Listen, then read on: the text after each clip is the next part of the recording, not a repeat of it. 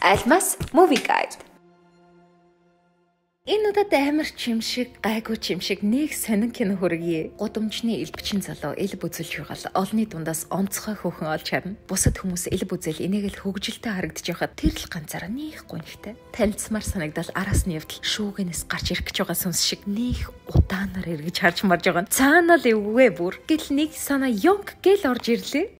Энэхүү бичлэгийг 1xbit-тэй хамтран хүргэж байна. Та бүхэн 18 наснаас дээш настай бол 1xbit-ийн бүртгүүлэх хэсгээр бүртгүүлээрэй та MovieX промо кодоор бүртгүүлээд анхны цэнгэлээр авах урамшууллаа 30% нэмэгдүүлэн аваарай. Мөн та өөр эрсдлийг тооцоолох хэрэгтэй. Хэрв тийм биш бол орохгүй байхыг анхааруулж байна. Тэгэл гудамжинд эл бүзүүлдэг байсан гар гинт орж ирсэн санаагаа хэрэгжүүлж томроод танхимд олон үзэгчтэй эл бүзүүлдэг болсон. Тэр хөөхнийхээ ачаар хосууд болох юм байх гэсэн чи ажлын хамтрагч болчих. Тэгсэн манай хөөхөн мангар зожиг гэх юм уу нэг хүндий хүдэн гаруулж таардаг. Хинтэж ойртдгүү үг чирдгүү ганцаараа л хоол идэж нэгээрээ л явж идэг. Жил ажилласан ажлынхаа хамт олонтой нэг ч хоолнд орж байгаагүй байл да. Ээж дүүж гадаадад амьдардаг. Тэгэл гэртээ ч ажил дээрээ ч юу н хаач одинороо синглэрэ ванаараа хөөрхи. Нэг өдөр элбчин үг хайж жугаад ажиллаараа ууд суухаар боллоо. Агсан тавьдаг 7 шил сүүжүү уун мунд гэл бас хурган мурих гэсэн хамаагүй орой эргээд цугларсан чинь нэрэл тэр нарийнхан турхаа биеинд багтамгүй их шил сүүжүү уугаад агсан тавьсан. Нөгөө залуугийн хувцснаас татаж зулгааж л яг хоёр мөмнийхэн тэдхийг тастад авч ил яах вэ? Ямар өчтэй хөөх юм бэ ч доо. Эсвэл амар супер хүчтэй.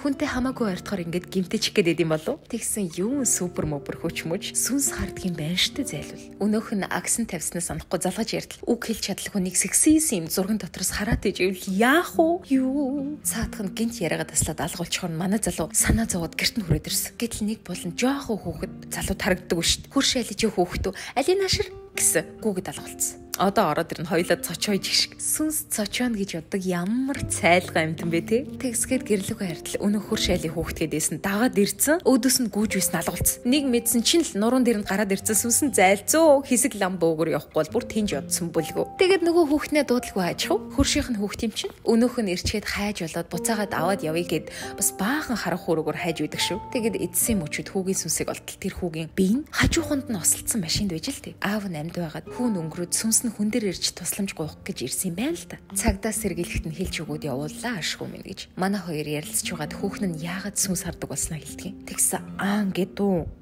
10 жилийн сурагч байж л дээ. Сайн найзтайгаа автобусанд явж байгаад осолд ороод ус руу унчихж. Хоёр охин дээр нэг аврагч иртэл алийг нь төрүүлж аврахаа мэдэхгүй байж байгаад манай хүнийг аварсан юм байна. Тэрнээс хойш байнга найз нь сүнс болж харагдаад эсвэл өөр сүнс ч гарч ирээд байдаг болчихч. Үгүй тэгээд ганц өөрт нь ч биш. Иргэн тойронд нь байгаа хүмүүст нь мэдрэгдээд эхлэхээр цаатахаас чинь зугтаж дайжаад харцгааж байсан.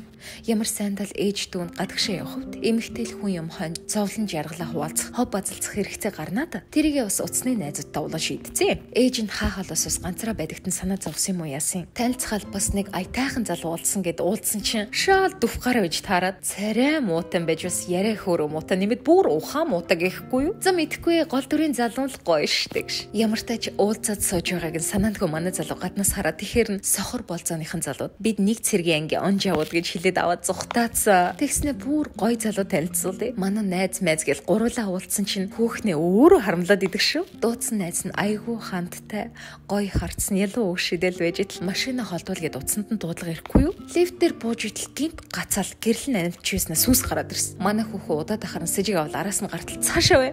Битгий ойрт гэл саяхан сэтгнээ дэсэн залуу нь хөөгөө зүгтаагаш. Манай хоёр л явж явж үлдчихэд идэг шүү. Нөгөө элбчин маань л сэтгэл гаргаад хажууд нь хань болчиход байх. Өнөө хөөхний харахаар л хөөхөн харагдаад болдгоо. Элдв юм ургуулж бодож дэнэгтэж өгнө. Ер нь тэгэл энэ өдрөөс хойш уй уй уулзаж уугаад идэг боллоо. Нэг өдөр хөргөж өвчхөд явлаггүй тэндээ Тэндээ хонцсон чинь дахиад сүнс мэдрэгдээд тэр шокноос гарч чадахгүй салгалаад байж л тайвшруулж өгье гэж тврээд бүр догдлуулаадглаа. Гэхдээ энэ нэг юм чинь найз хүүхэнтэй байсан биш үү?